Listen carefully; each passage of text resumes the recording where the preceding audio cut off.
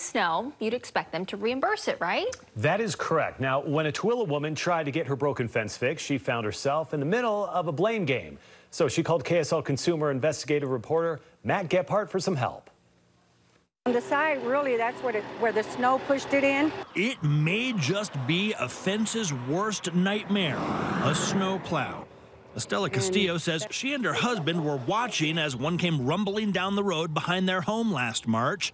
Ice and heavy snow from the plow smacked into their fence, with enough force to dent and break privacy slats and also to bend the fence's lower half out of shape. We think that he came too close and pushed it in that way. Estella says they caught a glimpse of an orange snowplow as it drove away. They assumed it belonged to Tooele City, but when they called the city, they were told not their fault. The city denied us, said that it wasn't the uh, the city, it was the county truck.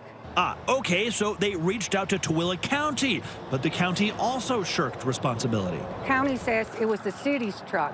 Estella says all she wants is to have somebody actually fix her fence. They're pointing fingers at each other. Nobody wants to claim the blame. Exhausted by the blame game, Estella decided it was time to call me.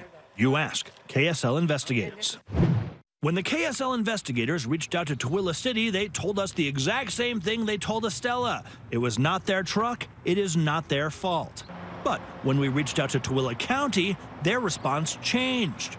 Rather than pointing the finger back at the city, a spokesperson wrote that they are turning the matter over to its insurance carrier for investigation and resolution. And just like that, Estella is finally working with the county's insurer to try and mend her fence. And I don't want a whole new fence, just put it the way it was. All right, so generally, homeowners insurance covers damage caused by snowplows, so long as a property, whether it's a mailbox or a fence, is not in the wrong area, like too close to the street. All right, so if you have a problem to solve uh, and you can't do it on your own, the number to call is 385 707 6153 or